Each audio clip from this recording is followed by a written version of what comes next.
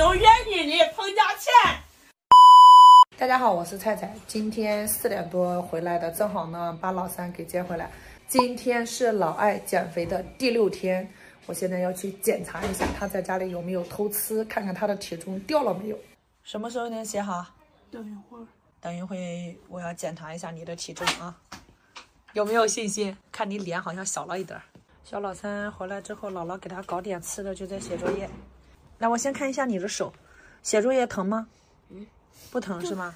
妈，来帮我汇报一下吧，老二的减肥情况。那汇报这不就天天给他早起来，有时候煮两个鸡蛋，吃的玉米，有时候吃两个鸡蛋，吃的面包，晚上就是不就做做减脂餐吗？偷偷的告诉我，到底是偷吃零食吗？那这个东西他肯定要吃的，他他怎么能戒掉净，猛一下子戒那么能呢？你是不是天天给他打扫卫生的时候？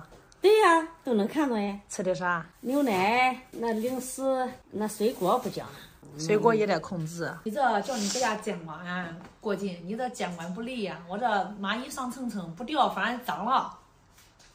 成过了。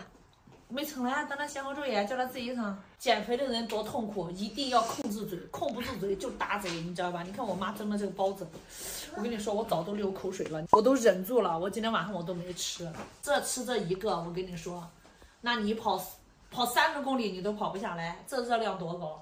他晚上吃的啥？晚上我给他打三个鸡蛋，留的杂粮米干饭，我给他炒的，又切一点胡萝卜搁里头，又切一小点点洋葱搁里头，吃那一碗。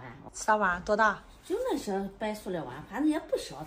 二姐晚上吃包子了吗？我记得二姐好像吃了鱼包子，嗯，想想好像好像拿过，好像拿过。拿过是吃还是没吃？吃一个。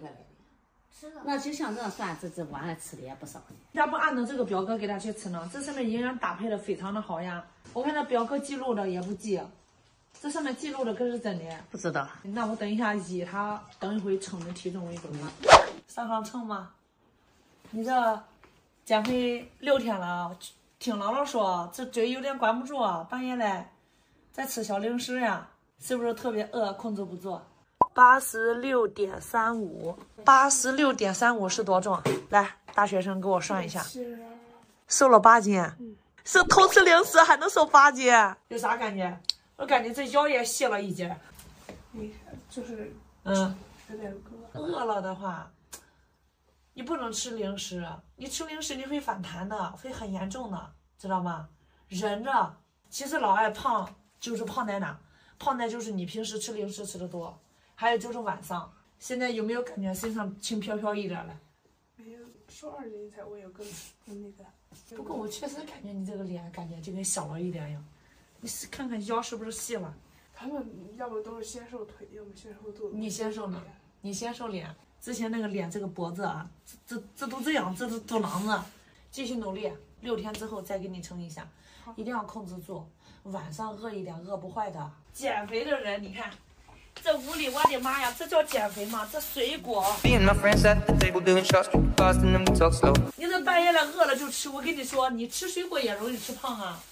我说吃水果减肥，你看是什么水果？香蕉，如果你要吃的话，你吃一半；苹果你要吃的话，吃一点，全部拿走。还有，我刚看你床上还有娃哈哈呢。谁给你的都不行，拿来给我。还有糖，还有巧克力，那里那里面有了，我打开看看。空盒子，我也不知道什么时候吃的东西。胖是真有原因的，彭佳倩。这又不是我在减肥，这个是之前吃。